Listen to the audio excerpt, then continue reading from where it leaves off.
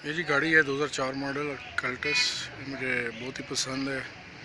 काफ़ी अच्छे से ये गाड़ी मेरे पास है। तो थोड़ा बहुत बाहर से रफ़ होगी हुई थी। तो हमने इसको पेंट के लिए रेडी किया है अभी।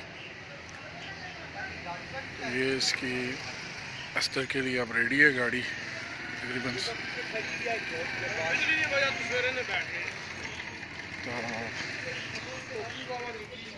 तो आज इसका अस्तर डलना था गाड़ी का, लेकिन इलेक्ट्रिसिटी की वजह से अभी तक काम रुका हुआ है। तो जैसे ये काम हो जाएगा अस्तर का तो उसके बाद इसकी हम पेंट की तरफ़ प्रोसेस करेंगे।